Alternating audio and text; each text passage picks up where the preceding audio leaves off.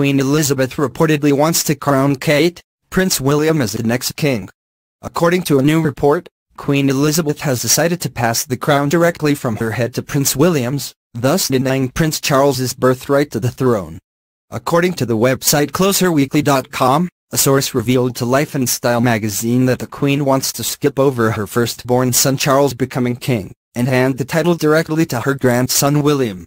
Before anyone gets too excited, it's worth noting that there's nothing about the royal tradition being thrown out the window on Life and Style's website or social media account, so let's take this news with a grain of salt. If it's true, it's a pretty huge deal, as royal experts have mostly held the opinion that Elizabeth won't skip the monarchy's line of succession.